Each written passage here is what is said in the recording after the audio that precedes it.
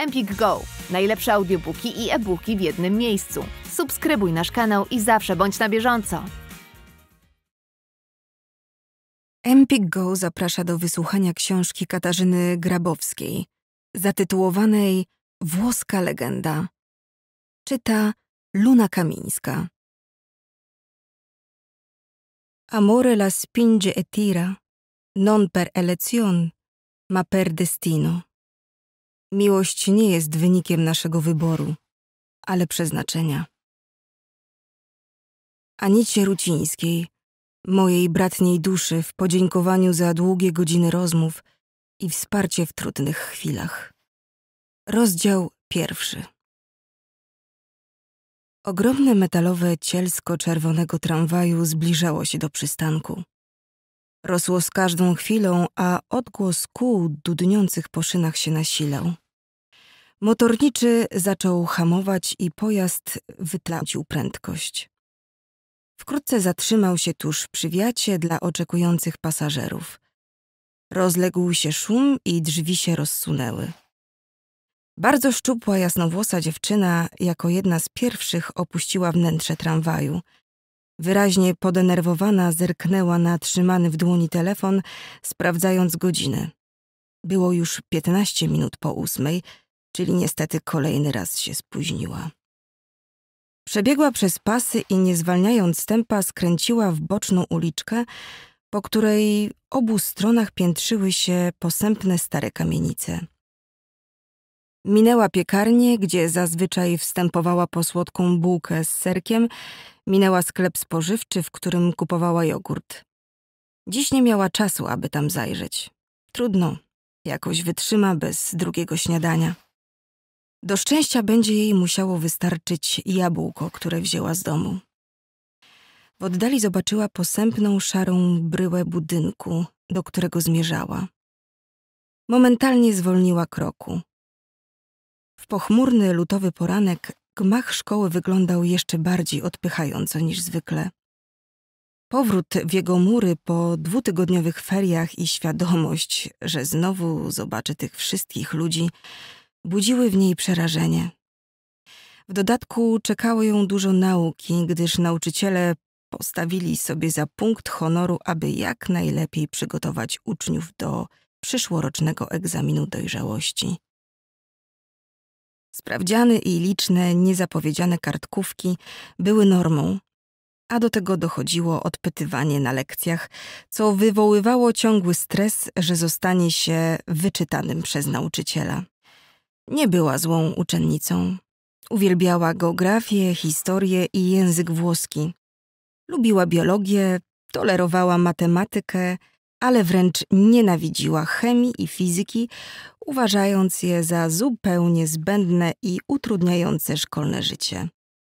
Ubolewała nad tym, że zamiast solidnie przygotowywać się do matury z przedmiotów obowiązujących na egzaminie, jak i do tych dodatkowo wybranych, będzie musiała sporo czasu poświęcić na te, które nigdy nie będą jej do niczego potrzebne. Pocieszała ją jedynie myśl, że już za rok, po zdanej maturze, więcej nie sięgnie po żaden podręcznik do fizyki i chemii, a matematykę ograniczy do najpotrzebniejszych działań, usuwając z pamięci wszystkie informacje dotyczące całek, funkcji i miar kątów.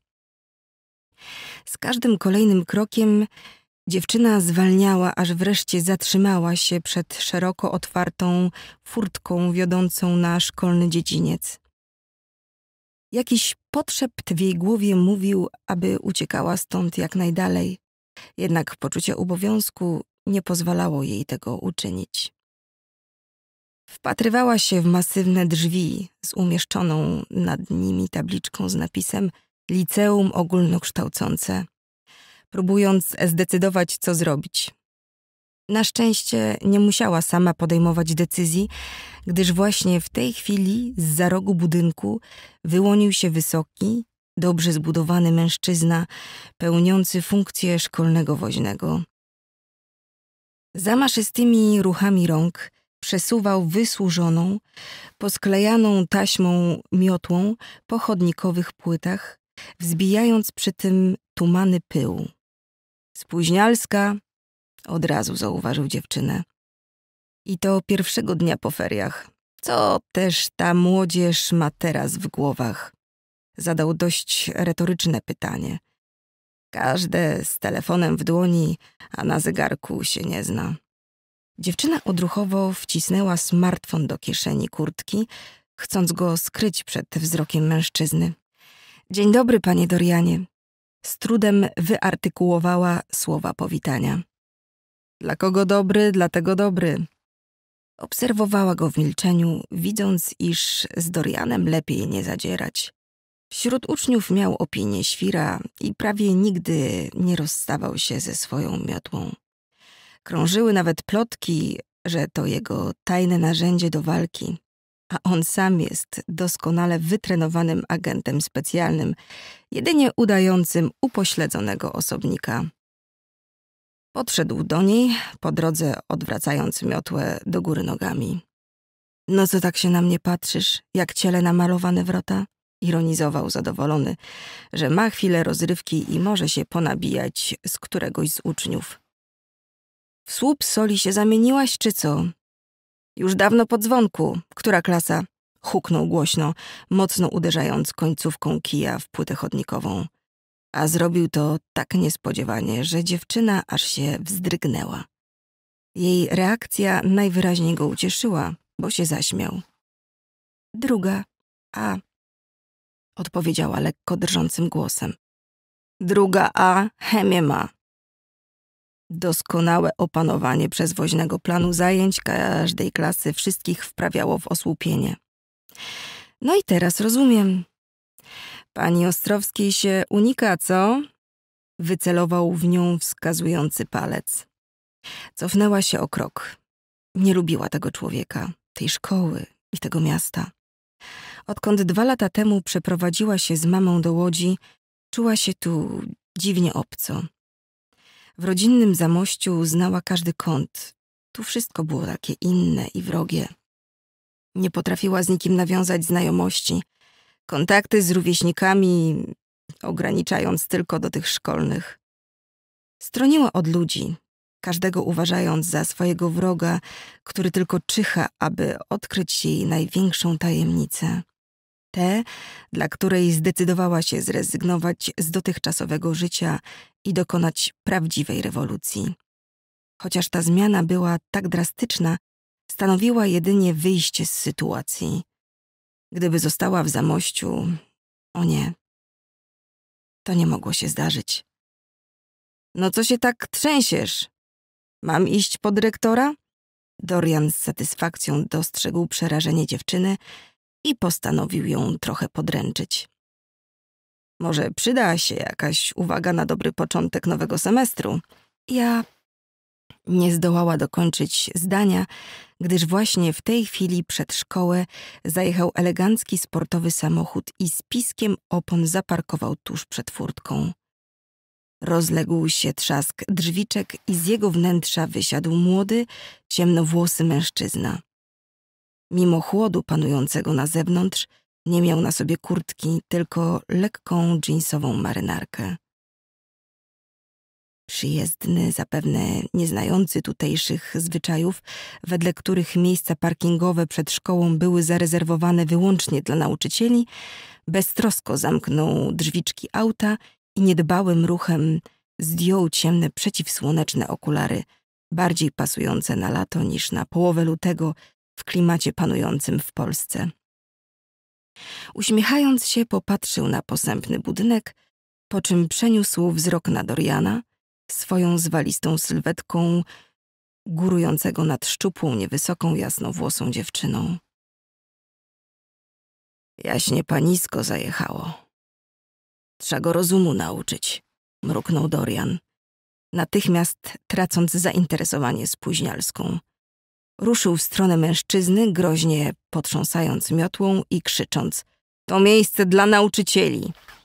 Dziewczyna przelotnie zerknęła na swojego wybawiciela, który całkiem bezwiednie pomógł jej uwolnić się od Doriana.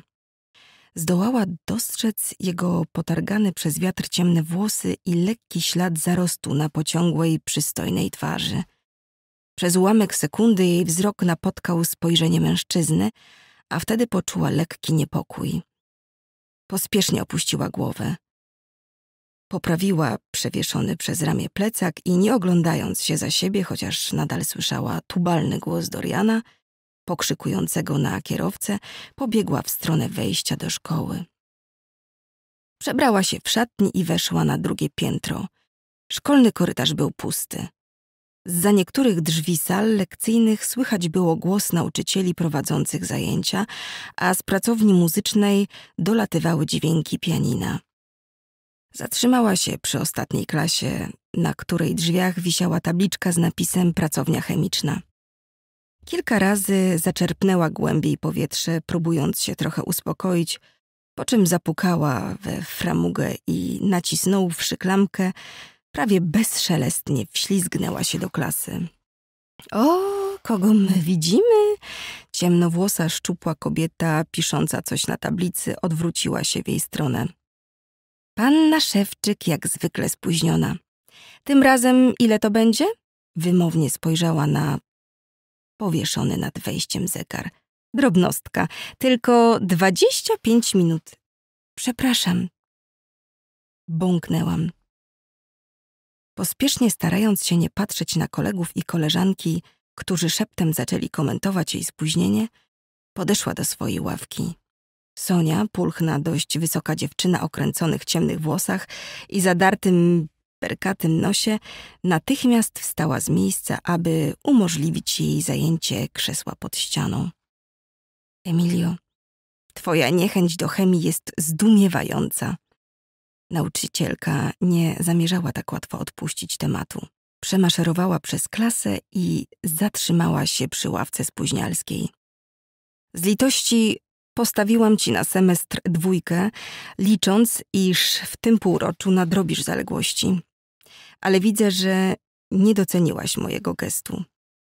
Emilka, która zdążyła już zająć miejsce, utkwiła wzrok w blacie biurka. Nie śmiała spojrzeć na nauczycielkę. Wstań, kiedy do ciebie mówię. Ton głosu pani Ostrowskiej sprawił, że posłusznie podniosła się z krzesła. Całkowicie dezorganizujesz mi pracę na lekcji. Spóźniasz się nagminnie, przeszkadzając kolegom w przyswajaniu wiedzy. Twoje podejście jest samolubne i wręcz wydaje mi się podszyte złośliwością.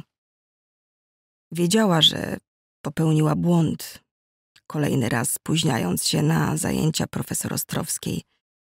Może gdyby wytłumaczyła jej, dlaczego tak się działo, dlaczego zazwyczaj w poniedziałki zjawiała się później niż pozostali uczniowie, mogłaby liczyć na zrozumienie. Może gdyby odkryła swoją najpilniej strzeżoną tajemnicę, wreszcie uniknęłaby przykrych uwag od nauczycielki. Jednakże mogłoby się okazać, że ujawnienie sekretu przyniosłoby bardziej nieprzyjemne konsekwencje niż reprymenda za spóźnienie i obniżona ocena z zachowania. Wolała tego nie sprawdzać. Życie ją tego nauczyło. Pani Ostrowska jeszcze przez chwilę utyskiwała na złe zachowanie Emilii i całkowite lekceważenie przez nią tak ważnego przedmiotu, jakim jest chemia ale wreszcie wróciła do uprzednio tłumaczonego tematu lekcji. Sonia wykorzystywała okazję.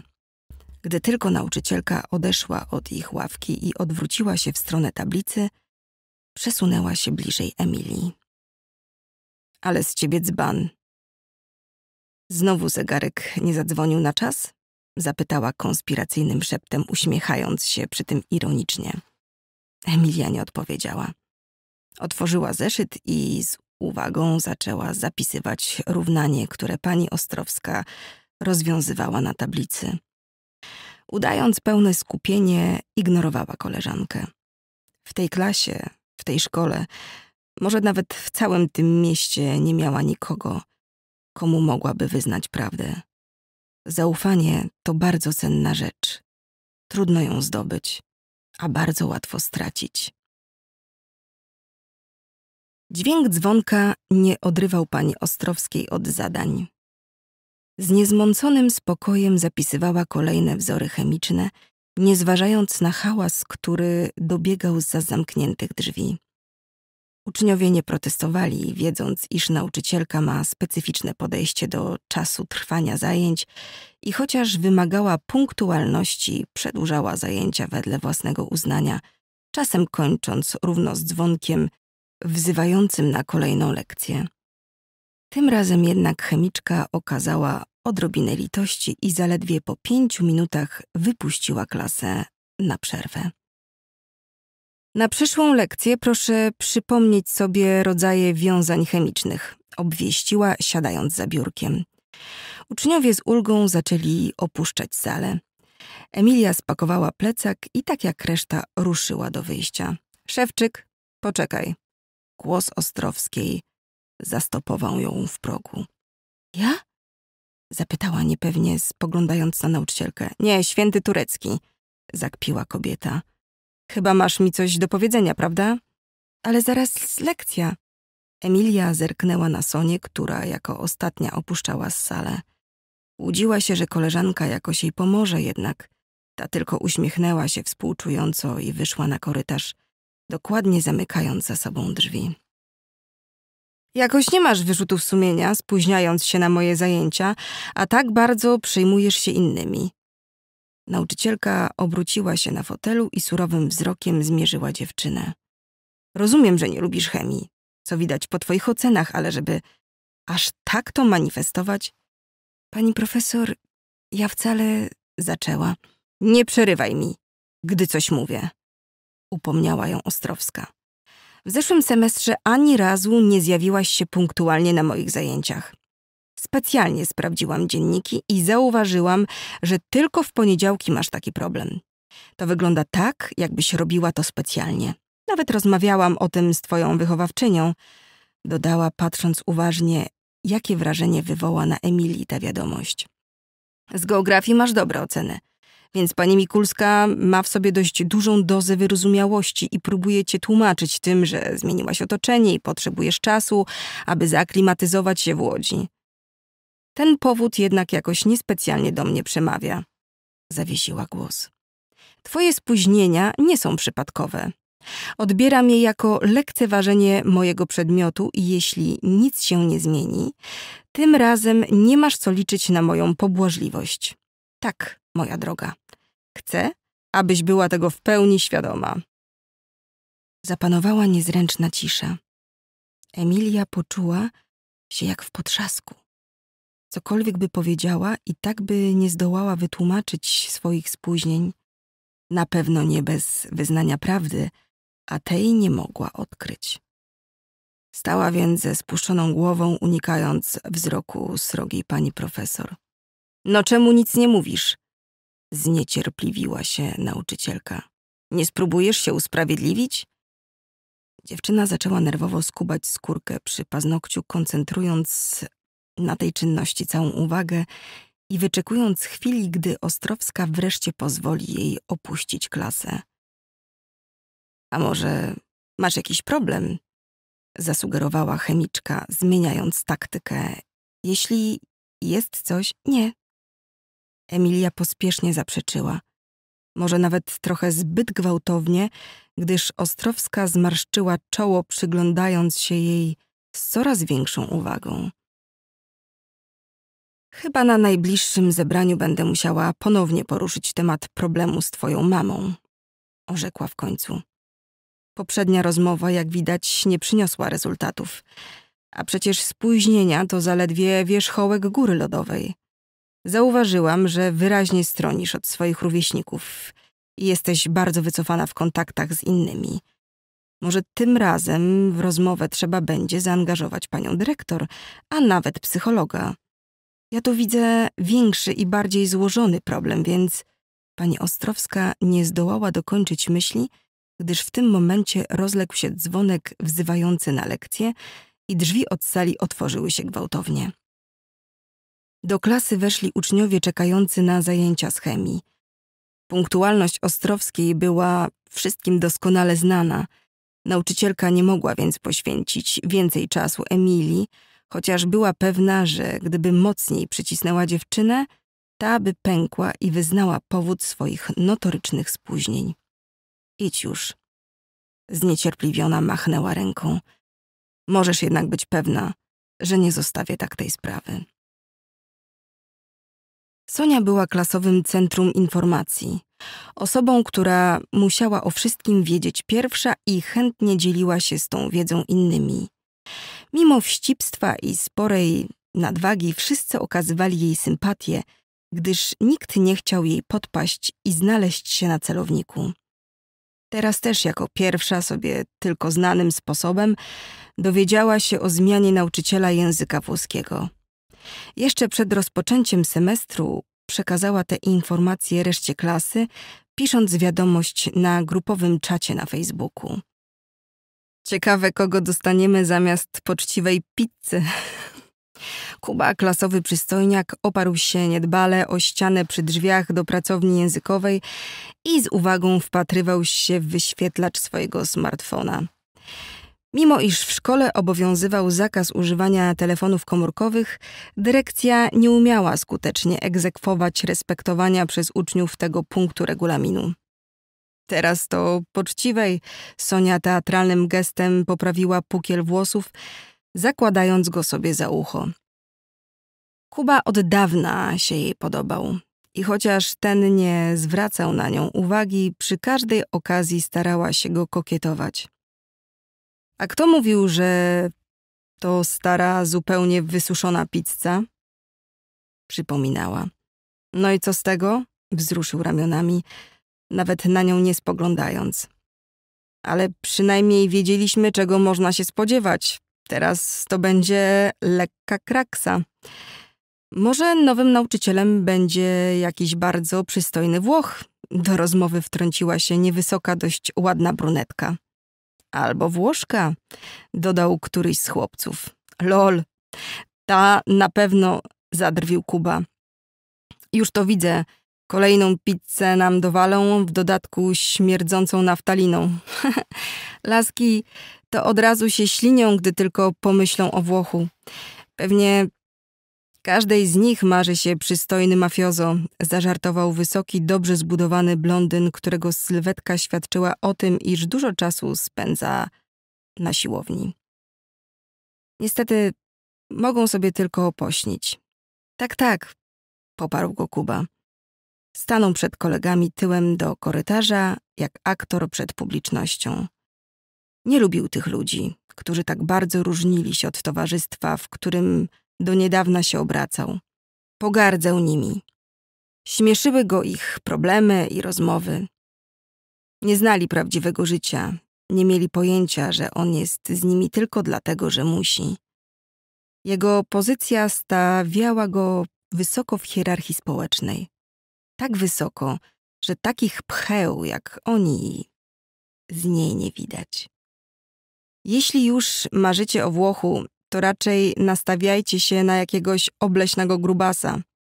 Wyciągnął przed siebie obie dłonie, pokazując rozmiar brzucha nowego nauczyciela. Niskiego i w dodatku łysego jak kolano. Przejechał palcami po równo przystrzeżonej ciemnej czuprynie.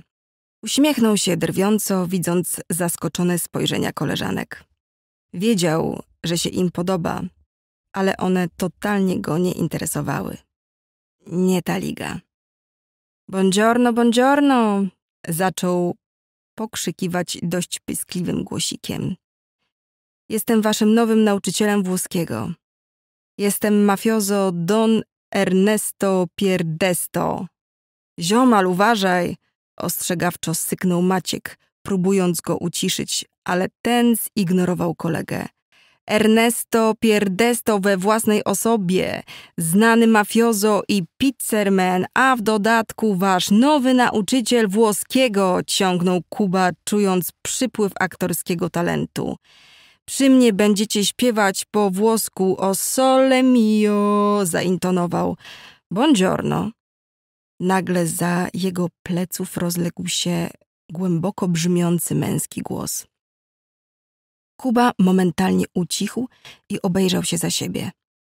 Tuż za nim stał wysoki młody mężczyzna o południowej urodzie i z pewną nonszalancją mierzył Wilczyńskiego wzrokiem. Co jest? Wymamrotał Kuba, zły, że ktoś ma czelność mu przerywać. Nieznajomy zaczął klaskać z uznaniem. Robił to w sposób teatralny, lekko drwiący. Nie odrywał spojrzenia od twarzy Kuby, tak jakby dostrzegł w niej coś szczególnie interesującego. No co jest, kurwa? Zniecierpliwił się Wilczyński. Nie przywykł być obiektem kpin. Co do licha? Widzę, że już mnie przedstawiłeś. Bardzo dziękuję za pomoc. Mężczyzna przestał bić brawo i przemówił po polsku, ale z dziwnym akcentem. Wprawdzie nie nazywam się Ernesto Pierdesto, ale faktycznie jestem Włochem. Zapraszam do klasy. Stanął przy drzwiach pracowni językowej i zachęcającym ruchem ręki dał znać uczniom, aby weszli do środka. Ale cringe. Maciek nachylił się do Kuby, gdy ten z ociąganiem sięgnął po leżący na podłodze plecak. Nieźle zdzbaniłeś. Trzeba mi było powiedzieć, że stoi za mną, syknął brunet. Koleś, nie zwalaj winy na mnie. Dawałem ci znaki, ale mnie olałeś. Obaj minęli w milczeniu nauczyciela i od razu skierowali się do ostatniej ławki, aby nie rzucać się w oczy. Włoch zamknął drzwi i stanąwszy na środku klasy, popatrzył na uczniów. Dzwonek, który właśnie się rozległ na korytarzu, oznajmił początek lekcji. Wasz utalentowany kolega, mężczyzna odszukał wzrokiem Kubę, który z udawanym zainteresowaniem, nie mając odwagi spojrzeć na nauczyciela, wpatrywał się w porysowany blat. Trochę się pomylił. Owszem, jestem Włochem, ale jak widzicie, nie mam ani wielkiego brzucha, ani łysiny, ani nawet nie jestem niski. Nie jestem także mafiozem. Mrugnął znacząco do siedzącej w pierwszej ławce dziewczyny. Nazywam się Giorgio Simonetti i od teraz będę was uczył włoskiego. Emilia zatrzymała się przed drzwiami pracowni językowej i ostrożnie zapukała we framugę. Nacisnęła klamkę. Zamierzała wślizgnąć się do sali i tak jak zawsze ze spuszczoną głową, nie patrząc na nauczycielkę, wymamrotawszy słowa przeprosin, szybko zajęła miejsce. Jednak w momencie, gdy przekroczyła próg, z impetem wpadła na stojącego przy drzwiach mężczyznę. Upadłaby, gdyby ten nie chwycił jej za ramiona i nie przytrzymał. Najpierw zobaczyła jego lśniące nowością czarne buty i równie czarne dżinsy. Buongiorno. Usłyszała miło brzmiący dla ucha głos. W sali rozległ się śmiech, a Emilia w popłochu uniosła spojrzenie na niespodziewaną zawali drogę. Gwałtownie zamrugała powiekami. Od razu rozpoznała tego mężczyznę. Widziała go rano przed szkołą. Przyjechał sportowym samochodem i swoim nagłym pojawieniem się wybawił ją od tłumaczenia się Dorianowi. Szewczyk nie należała do grupy klasowej na Messengerze. Nie utrzymywała pozaszkolnych kontaktów z koleżankami, nie wiedziała więc o zmianach w kadrze nauczycielskiej. Zjawiając się spóźniona na lekcję włoskiego, spodziewała się zastać tu dość leciwą panią Skwarek, zwaną przez wszystkich pizzą, która z wrodzonym wdziękiem starszej damy starała się wpoić niesfornym uczniom podstawy języka Dantego. Nic więc też dziwnego, że widok przystojnego młodego mężczyzny całkowicie zaskoczył Emilię. Przepraszam. Widzę, że lubisz się spóźniać. Zaśmiał się, przechodząc na polski. Ten jednak raz wybaczam, ale na przyszłość proszę o punktualność. Przeszła do ławki zajmowanej razem z Sonią i zajęła wolne miejsce. Czy teraz jesteśmy już w komplecie? No raczej. Głos zabrał Kuba, który nieco okrzepł po korytarzowej wpadce. Emi to etatowa spóźnialska. Zawsze mamy z niej niezłą bekę. Nikt jej nie przebije. Sonia zachichotała, a reszta klasy jej zawtórowała. Emilia zacisnęła usta, czując, iż spojrzenia wszystkich skierowane są właśnie na nią. Och, jakże nie lubiła takich momentów. Bycie w centrum uwagi peszyło ją i doprowadzało do szybkiej pracy serca. Wiedziała, że w takim przypadku jej policzki stają się czerwone, a dłonie chłodne i wilgotne od potu. Najchętniej zapadłaby się wtedy pod ziemię, aby zupełnie przestała istnieć. Rozumiem, że wszyscy jesteście bardzo punktualni. Giorgio usiadł na brzegu piórka i uważnie popatrzył na siedzących przed nimi licealistów. Wam nigdy nie zdarzyło się spóźnić? Wszyscy jesteście tacy zorganizowani? Śmiech ucichł. No nie, ale Emi bije nas wszystkich na głowę, upierał się Kuba. A ty pewnie nie możesz się pogodzić z tym, że dziewczyna jest w czymś lepsza od ciebie. Zadrwił nauczyciel. Pewnie chciałbyś we wszystkim przodować. No to dam ci szansę. Pani Skwarek przekazała mi informację, że na ferie zadała wam pewien dialog. Może jako pierwszy go nam zaprezentujesz? Długa przerwa ciągnęła się Emilii w nieskończoność. Gdy pozostali uczniowie podzielili się na grupki i prowadzili ze sobą ożywioną konwersację, ona przysiadła na parapecie.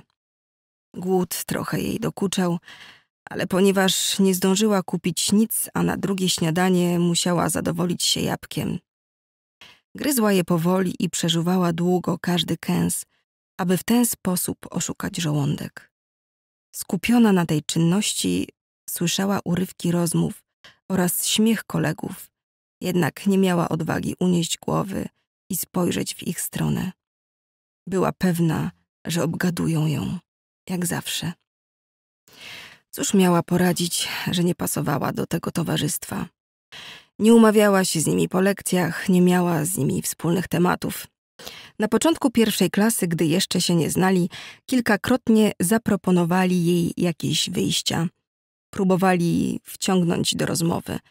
Ponieważ jednak nigdy nie odpowiadała na zaproszenia, a będąc w grupie stawała zawsze z boku, nie zabierając głosu, w końcu uznali, że szkoda marnować czasu na towarzystwo kogoś tak nieciekawego i wyobcowanego.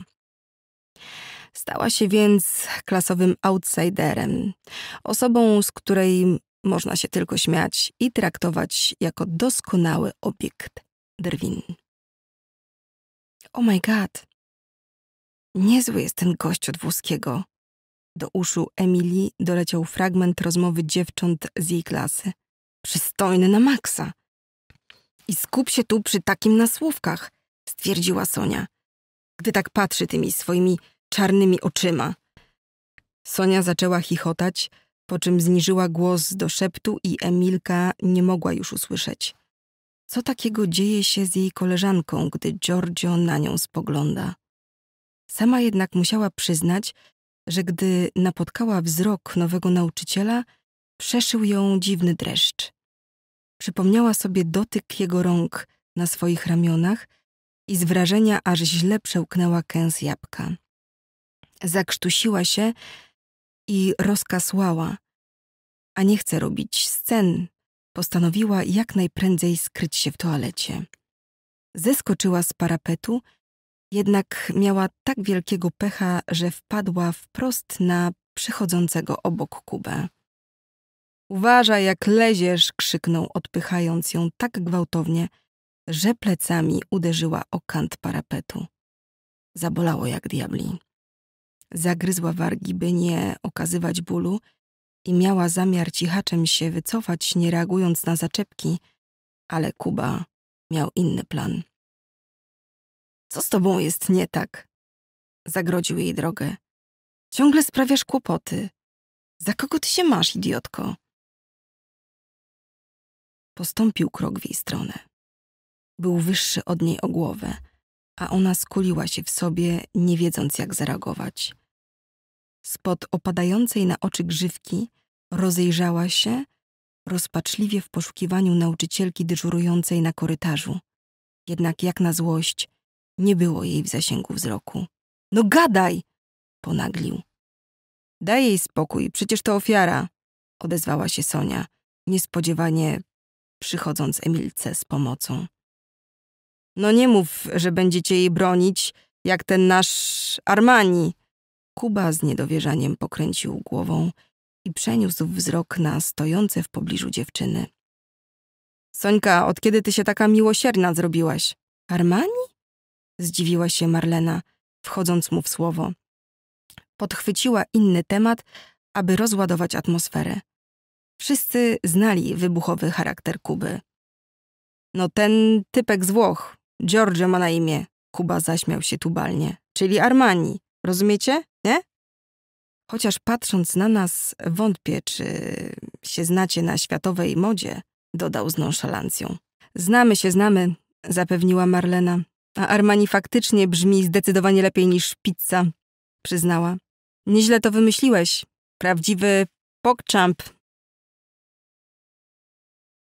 Pochodzenie zobowiązuje, nie? Kuba przytaknął wskazujący palec do skroni. Jakby co, polecam się na przyszłość. Emilka wykorzystała okazję, że wszyscy zajęli się omawianiem przezwiska nowego nauczyciela. Niezauważona przez nikogo przemknęła do łazienki i zamknęła się w jednej z kabin. Tu wreszcie poczuła się bezpieczna. Jeszcze półtora roku, powiedziała do siebie szeptem. Już niedługo. Wytrzymam. Muszę wytrzymać. Zacisnęła pięści, bo zdawała sobie sprawę, że nie będzie łatwo. Cóż, wszystko zrobiła nie tak, jak powinna. Gdyby wtedy była zła na siebie i na swoje decyzje. Jakże łatwo jest zniszczyć sobie życie. Wystarczy jeden pochopny krok. Młodość ma to do siebie, że daje poczucie wolności Człowiek zachłystuje się tą nadchodzącą dojrzałością i nie zważa na konsekwencje, a później pozostaje tylko żal. Jeszcze półtora roku, powtórzyła. Rozdział drugi. Powrót do domu w godzinach szczytu nie należał do najprzyjemniejszych. Ścisk w tramwaju panował straszny, a ludzi przybywało na każdym kolejnym przystanku. Emilia miała wrażenie, że jest wręcz miażdżona przez napierającą falę ubranych w grube kurtki ciał. Jak na złość jechała prawie do samego końca, gdyż mieszkała w pobliżu pętli tramwajowej na Wyszyńskiego. Dobrze chociaż, że tuż za dworcem kaliskim trochę się poluźniło, a na wysokości osiedla Piaski pojawiły się nawet wolne miejsca siedzące. Blok, w którym mieszkała Emilka, znajdował się nieopodal przystanku. Wystarczyło przejść przez jezdnię.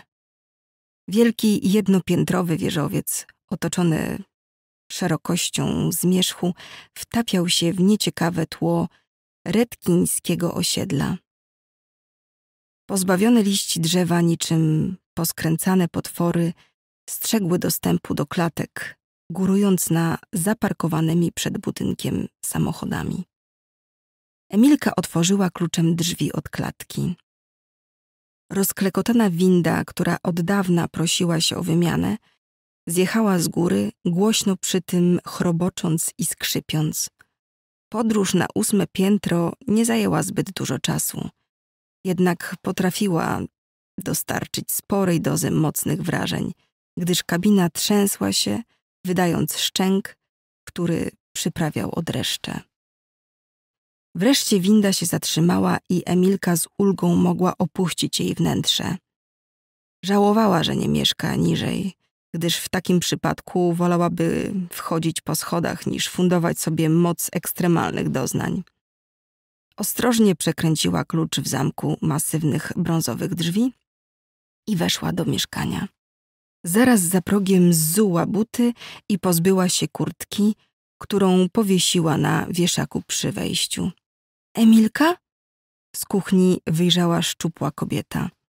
Krótko obcięte ciemne włosy tworzyły artystyczny nieład wokół jej pociągłej, nieznaczonej zmarszczkami twarzy.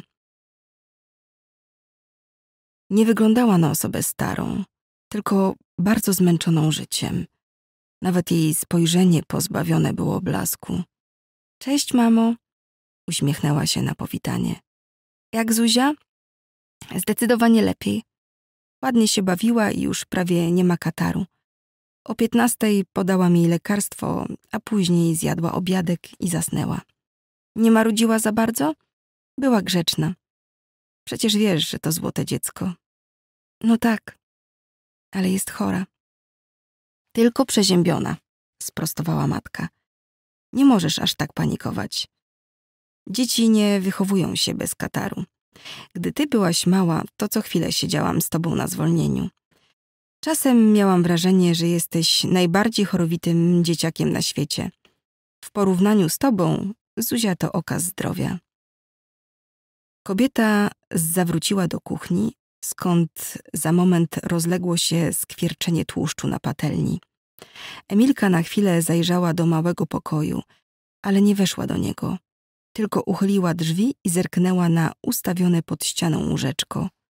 Uśmiechnęła się, widząc ciemne, kręcone włoski śpiącego dziecka.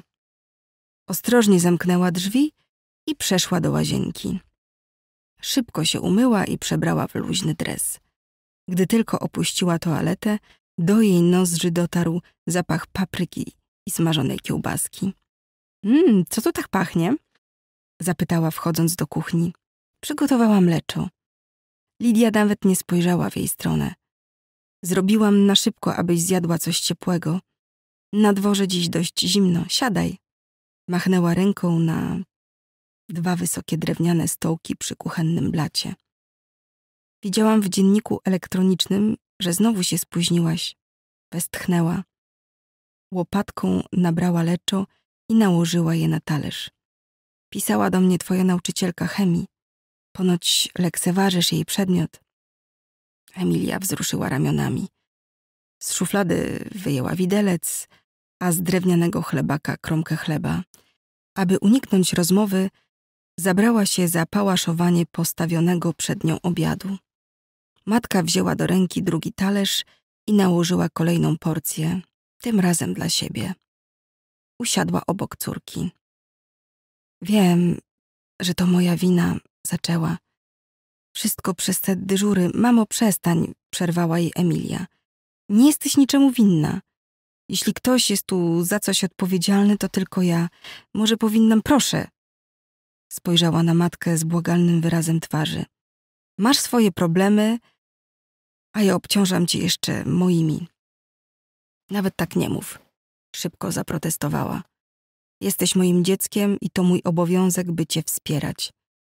Nigdy nie mów, że ty albo Zuzia jesteście dla mnie ciężarem. Mamo, ale jedz.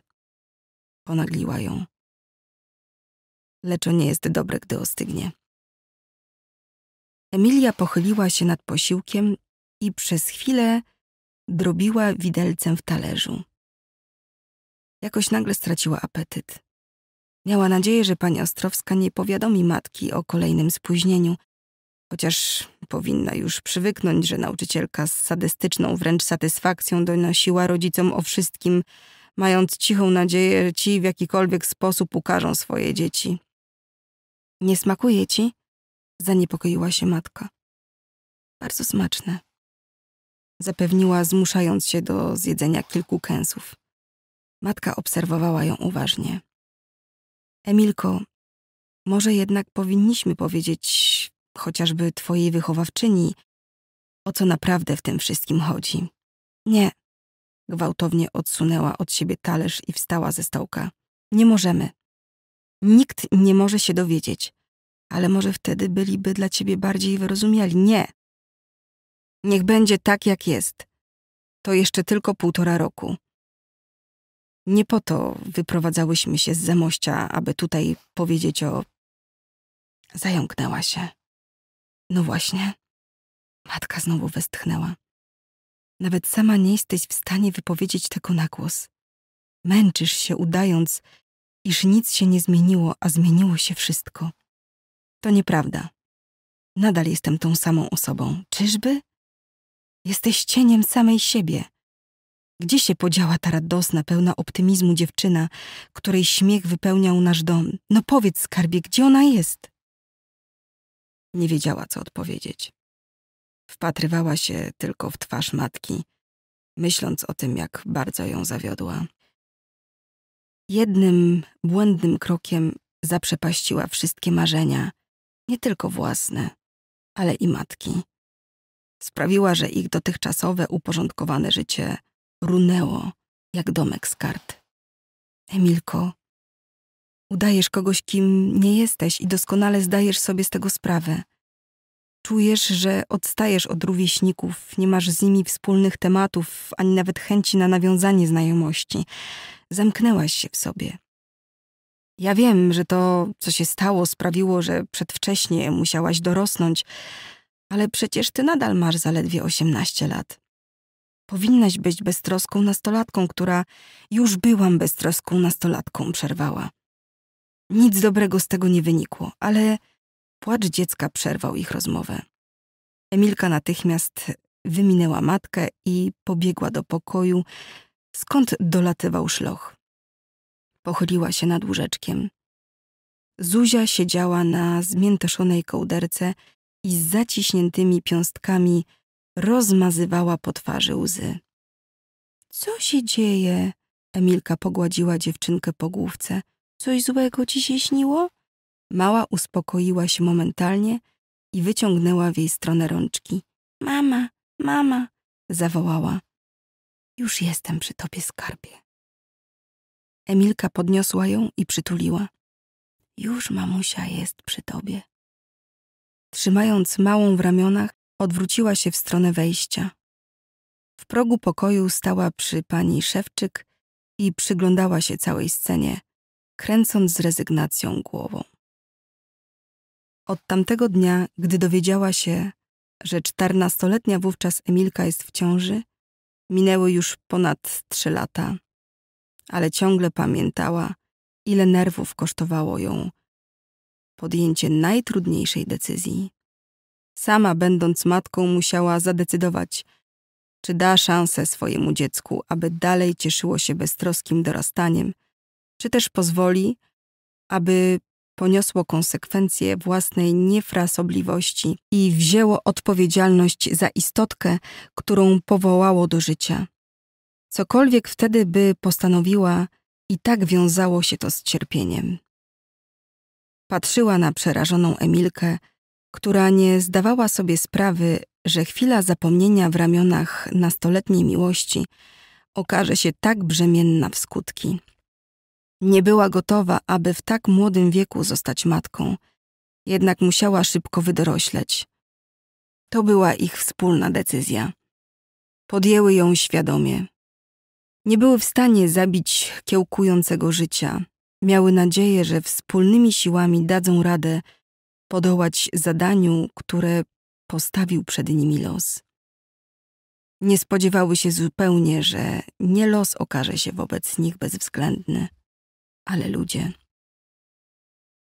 Emilka, która liczyła na miłość i wsparcie ze strony swojego chłopaka, napotkała z jego strony na mur obojętności. On już się zabawił i nie miał najmniejszej ochoty na wzięcie jakiejkolwiek odpowiedzialności za swoje czyny.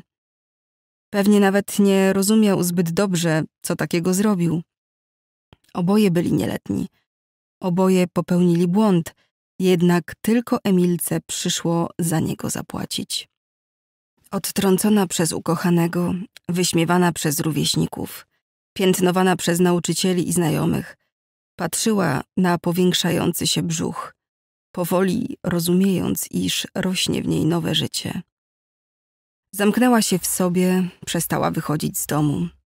Tylko dzięki determinacji matki, która załatwiła jej indywidualne nauczanie, skończyła w terminie drugą klasę gimnazjum. Do szkoły nie mogła już wrócić, nawet po porodzie, gdyż dyrektor stwierdził, że dawałoby to zły przykład innym uczniom. Co ciekawe, ojciec dziecka, jak gdyby nigdy nic, nadal uczęszczał do tej samej klasy, nie spotykając się z żadnymi konsekwencjami. To właśnie wtedy, już po narodzinach Zuzi, Lidia Szewczyk zdecydowała o wyprowadzce z Zamościa. Niemały udział miała w tym jej siostra, od lat mieszkająca w Łodzi, która dostała ofertę pracy w oddziale firmy w Sztokholmie. Wiedząc o sytuacji Emilki, zaproponowała, aby ta wraz z matką i dzieckiem przeniosła się do jej mieszkania. Emilka z ochotą przyjęła pomocną dłoń ciotki. Być może myślała, że w obcym mieście, z daleka od ludzi, których znała, odzyska spokój i znowu będzie mogła normalnie żyć. Nie wzięła jednak pod uwagę, że już zawsze miała różnić się od swoich rówieśników. Obie z matką postanowiły, że w nowym miejscu, aby uniknąć kolejnych problemów, nikt nie pozna ich tajemnicy. To Lidia miała grać rolę matki Zuzi, a Emilka jej siostry. Jednak uczucia macierzyńskie, które się w niej odezwały, nieco pokrzyżowały te plany. Ostatecznie jednak na potrzeby otoczenia udało się im stworzyć obmyślony wcześniej obraz rodziny, co umożliwiło Emilce kontynuowanie nauki w liceum, tym samym wyrównując szanse na zdobycie przez nią normalnej edukacji. Emilka na pozór była normalną nastolatką, wprawdzie wyobcowaną i skrytą, jednak bez przypiętej łatki młodocianej matki. Musiała jednak uważać, aby sekret się nie wydał, a już szczególnie, aby nikt w szkole nie dowiedział się o jej przeszłości. Ponieważ z nikim się nie spotykała i nikogo nie zapraszała do siebie, łatwiej było ukryć fakt istnienia Zuzi. Wybierając szkołę, specjalnie zdecydowała się na tę znajdującą się w drugim końcu miasta, chociaż w pobliżu były inne licea. Zależało im jednak na tym, aby jak najbardziej ograniczyć możliwość spotkania w niej kogoś znajomego z osiedla. Nie były im potrzebne żadne plotki, a zdawały sobie sprawę, że ktoś kiedyś na spacerze może usłyszeć, jak mała Zuzia woła do Emilki mamo. Empik Go. Najlepsze audiobooki i e-booki w jednym miejscu. Subskrybuj nasz kanał i zawsze bądź na bieżąco.